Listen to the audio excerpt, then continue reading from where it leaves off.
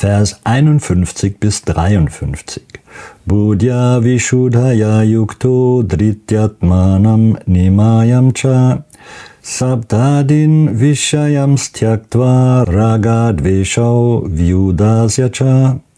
Vivikta Sevi Lagvasi Yata Vakkaya Manasa Dhyana Yoga Paro Nityam Vairagyam Samupashrita Ahankaram Balam Darpam Kamam Krodham Parigraham Vimuchya Nirmama Santo Brahma Bhuyaya Kalpate Budya mit Intelligenz, Vishudhaya völlig geläutert, Yukta beschäftigt, Dritya durch Entschlossenheit, Atmanam das Selbst, Niyamya regulierend, Cha auch, Shabda Adin wie Klang und so weiter, Vishayan die Sinnesobjekte, Tyaktva aufgebend, Raga Anhaftung, Dveshau und Hass.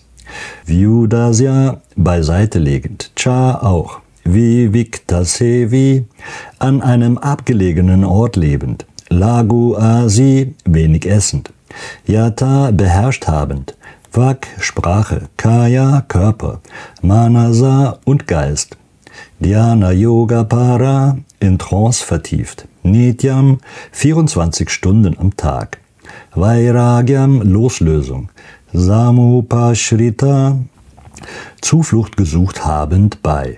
Ahankaram falsches Ego, Balam falsche Stärke, Darpam falscher Stolz, Kamam Lust, Krodham Zorn, Parigraham und das Annehmen materieller Dinge. Vimuchya befreit von, Nirmama ohne Besitzanspruch, Santa friedvoll, Brahma Bhuyaya für Selbstverwirklichung. Kalpate ist qualifiziert. Wer durch seine Intelligenz geläutert ist und den Geist mit Entschlossenheit beherrscht, die Objekte der Sinnenbefriedigung aufgibt und von Anhaftung und Hass befreit ist, wer an einem abgelegenen Ort lebt, wenig isst und seinen Körper, seinen Geist und den Drang zu sprechen beherrscht, wer sich immer in Trance befindet und losgelöst ist, frei von falschem Ego, falscher Stärke, falschem Stolz, Lust, Zorn und dem Annehmen materieller Dinge, Wer keinen falschen Besitzanspruch erhebt und friedvoll ist, ein solcher Mensch wird gewiss zur Stufe der Selbstverwirklichung erhoben. Erläuterung. Wenn ein Mensch durch Intelligenz geläutert ist, weicht er niemals von der Erscheinungsweise der Tugend ab.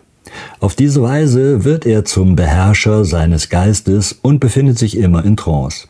Er ist nicht an die Objekte der Sinnenbefriedigung angehaftet und in seinen Tätigkeiten ist er frei von Anhaftung und Hass.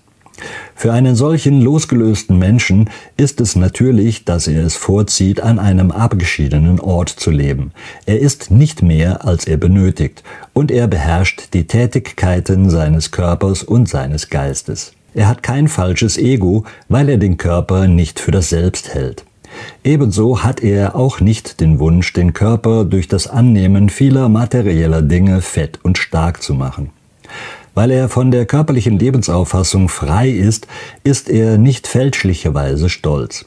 Er ist mit allem zufrieden, was er durch die Gnade des Herrn bekommt, und er wird nicht zornig, wenn es keine Sinnenbefriedigung gibt.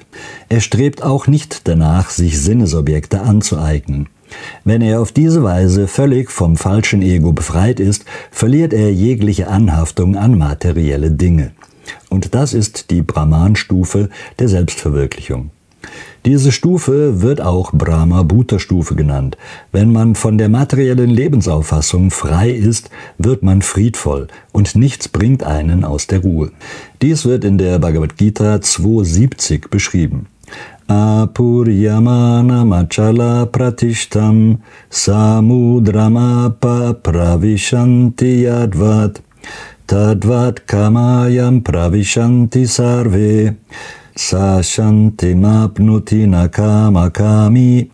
Nur wer durch die unaufhörliche Flut von Wünschen nicht gestört ist, die wie Flüsse in den Ozean münden, der ständig gefüllt wird, doch immer ausgeglichen bleibt, kann Frieden erlangen und nicht derjenige, der danach strebt, solche Wünsche zu befriedigen.